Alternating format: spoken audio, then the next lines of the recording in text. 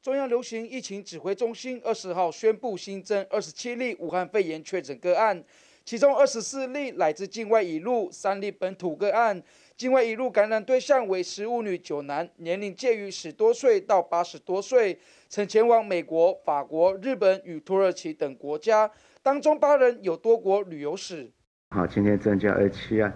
那这二七案里面哈，有大概有八位哈，是我们在机场。好，直接就有拦有拦截的是八位，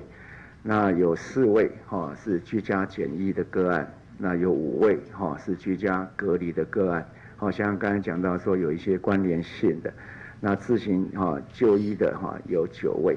那另外有一位哈他回来对自主健康管管理哈，那也做得很彻底。指挥中心进一步指出，武汉肺炎影响范围不断扩大，全球确诊病例数近期快速增加。为了降低国际旅游感染风险，全球旅游疫情升至第三级警告，呼吁国人非必要不要出国游玩。副指挥官陈宗彦表示，由于机场端已采取旅客分流及加派防疫专车数量，让边境检疫速度更顺畅。这个我们实际的啊返国的人数都有已经在递减的状况。那在今天的部分，呃，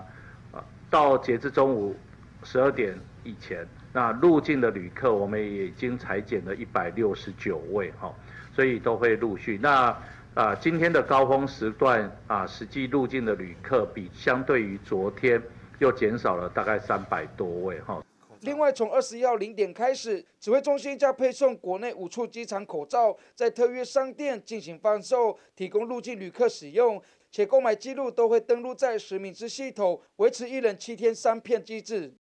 呃，今天和昨天已经陆续配发到各个各个机场了。那由于还是搭配我们的实名制，所以它有一些资讯系统的串接，所以我们会结合呃移民署的系统和健保署的系统。根据统计，目前国内累计一百三十五例确诊个案，分别为一百零二例境外引入及三十三例本土个案。二十号有一例确诊死亡个案，二十八人解除隔离。由于境外引入个案数增多，指挥中心表示会再强化边境检疫措施。